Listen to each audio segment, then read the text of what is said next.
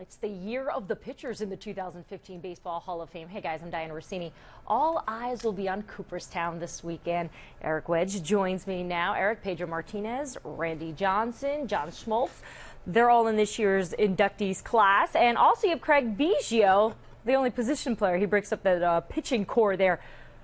Which player you think is long overdue here? I, I have to say Craig Biggio. I, I know Bidge from way back when, even all the way back to Seton Hall in college, and the fact that he got 3,000 hits and didn't get in right away, that's somewhat amazing to me as a baseball historian, just for the fact. Is that automatic? Well, it should be automatic. I mean, it's 3,000 hits, boom, your first year eligible, yeah. you're in. But it just goes to show you how the Hall of Fame has changed and the way the writers, you know, vision of the Hall of Fame has changed over the years. Yeah, and everyone loves to debate this. All baseball fans do, right? People get really passionate and angry about oh, yeah. who should be inducted, or at least who should be on that nomination list.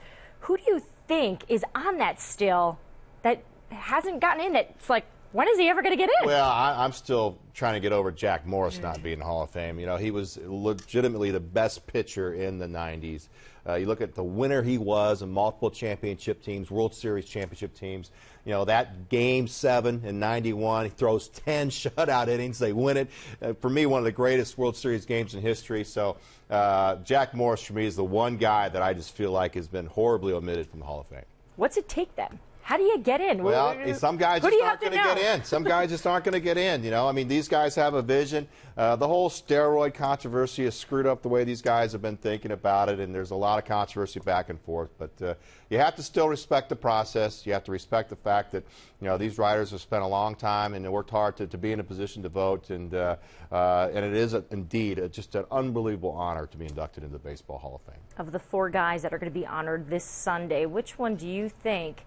Has the best legacy?